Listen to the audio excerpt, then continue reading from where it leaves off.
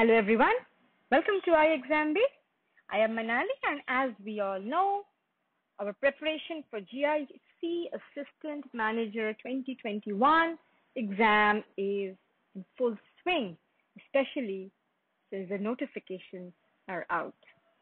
With this in mind, if you remember, in one of our last videos, we talked about the do's and don'ts of précis writing, things that you need to remember, things you cannot do, otherwise you might lose marks. Today, it's a quick review of those points.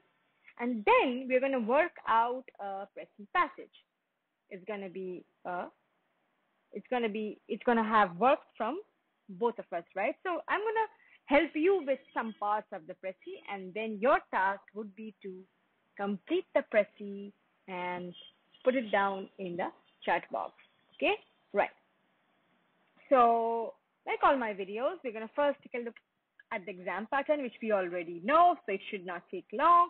Then we will move on and look at some points that we have already discussed. It's just to jolt your memory so that you remember what are the main important points in précis writing. From there, we are going to work on a précis passage together.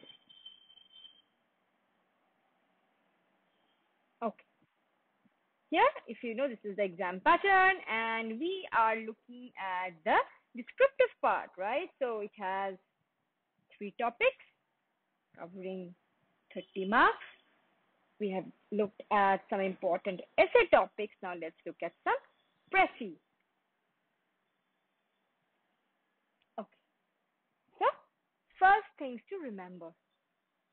You need to read the passage first and find out essentials and non-essentials. So how we are going to do that? We'll find out very soon. Next, we need to create a rough draft. So our, how much, how many words, what's the word limit that we are looking out for? So it should be one third of the passage. Okay, so accordingly we need to create a rough draft. Then but remember, you cannot copy paste. It should be written in your own words. There should not be any copy paste. We also need to include the main idea. But when you're including the main idea, you need to do away with the non-essentials. Now, what are these non-essentials? Now, these non-essentials are basically these figurative language, unnecessary data, proverbs, descriptions, statistics, etc. But remember something. Once you're done with the précis, the structure should be intact, compact, and complete. It should not read as an incomplete passage. It should be complete in all respects. Okay, with this in mind, let's take a look. Now, here is the first part of our passage. Let's try to read and see what it's all about, right? So, for over two decades, India has acquired the reputation of being the pharmacy of the world. As its strong generic pharmaceutical industry has been supplying affordable medicines conforming to quality standards to the global markets. This reputation grew out of the critical interventions that the Indian companies had made during the HIV AIDS pandemic by supplying affordable um, retro, antiretroviral medicines to African countries. When the major pharmaceutical producers had demanded excessively high prices for these medicines. So, India is known as the pharmacy of the world Let's quickly mark out what is important. Okay, let's do that. So, pharmacy of the world, this is important. Okay, why is this so? Because it has been supplying medicines to the global market. Okay, and look at the next part. Next part, we are talking of an instance, an example, an incident that led India to get this title. So that is not something that we need. This is non essential. What is essential is that India has acquired the reputation of being the pharmacy of the world because it has been supplying medicines to the global market. Fine? So, this one we can put it in red.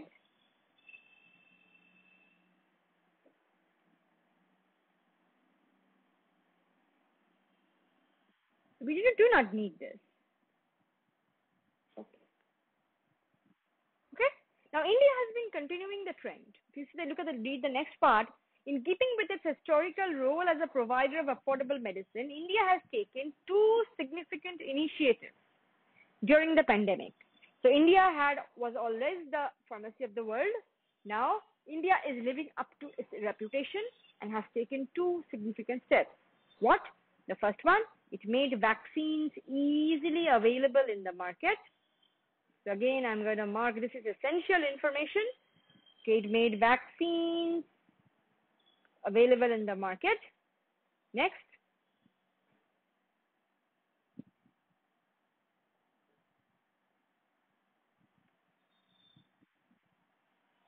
Next. Now see, when it comes to the next point, we do have a lot of unnecessary information in the beginning. Okay? So we are gonna, we don't need that much of information. Okay? So let's quickly identify the in, important information.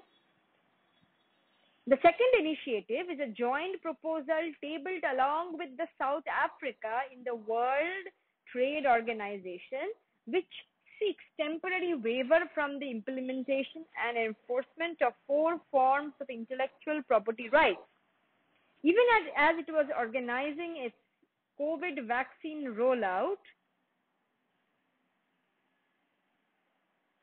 the Indian government announced an elaborate vaccine diplomacy strategy for providing vaccines to most of its neighbors. So, what did India do? First, it made vaccines readily available in the market. Second, it, yes, it agreed in signing a joint proposal and it did away with temporary waiver from implementation of intellectual property rights because India started following what is known as the vaccine diplomacy. Okay? Yes, it's a very, very important word. Fine? With its neighboring countries. You don't need to mention the name of the countries because we already know it, plus this is unnecessary information. Okay? Next. Other countries. India has seven neighbors in South uh, in South Asia, Afghanistan, Bangladesh, Bhutan, Maldives, uh, Nepal, and Sri Lanka. Other countries that have already received vaccine assistance are Seychelles, Myanmar, Mauritius, Bahrain, Barbados, Dominica, Oman. So India has been distributing vaccines in its country as well as it has done away with intellectual property rights and is following a vaccine diplomacy strategy by providing vaccines to many different countries. That is basically the main gist, whatever we've read till now. Okay? Okay? Okay, fine. Thus, India is using its soft power to assist developing countries. The real value of India's vaccine diplomacy was seen when Canadian Prime Minister Trudeau sought Prime Minister Modi's assistance for vaccine supplies from SII. SII is the Serum Institute of India. Even India supplied vaccines to Canada. Okay? Now, this is especially important because the Indian government's vaccine sharing policy with partner countries is without a doubt a standout. In the times of alarming precedent of vaccine nationalism, and this is important, this is the author's opinion. The author feels that this is very important, especially important because other countries are following vaccine nationalism. They are not giving away vaccines. They are clinging on to vaccines, right? So they are buying more than they need. So they are following vaccine nationalism. And India is setting an example. After this, we have a, a study which we don't need.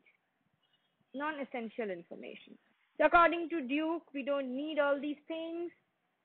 Canada heads the list of vaccine nationalists. A, it has got vaccine nine times its population.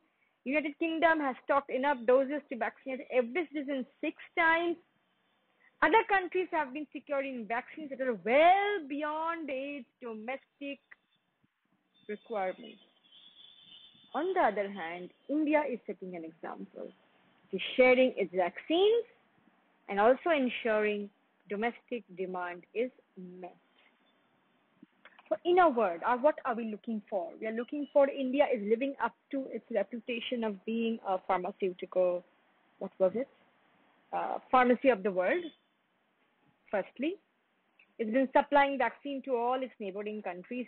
Plus, it has done two things: made vaccine available in the country, plus done away with it has sought waiver from the intellectual property rights, and therefore it has adopted the strategy of vaccine diplomacy with a lot of countries. In a time, especially when other countries are procuring more vaccines than they need and are strictly vaccine nationalists, India is setting an example by doing two things. It's not only ensuring its domestic demand is met, it's also sharing the vaccine supplies with other countries. Okay? Now, what are we talking about here? Now, we have more or less got the rough draft. We know what, what needs to go there, what is essential, what is non-essential, right? Now, what about the title? Just ask yourself, what is this passage talking about? Are we talking about COVID-19? No. Are we talking about pros and cons of vaccination? No, not at all. Are we talking about the neighboring countries? No. Are we talking about vaccine nationalism? No we are basically talking about India's vaccine diplomacy. So ideally, that should be the title. Okay, now we are almost done, right? So we have sorted the essentials and the non essentials. We have also decided on the title. Now I have a task for you.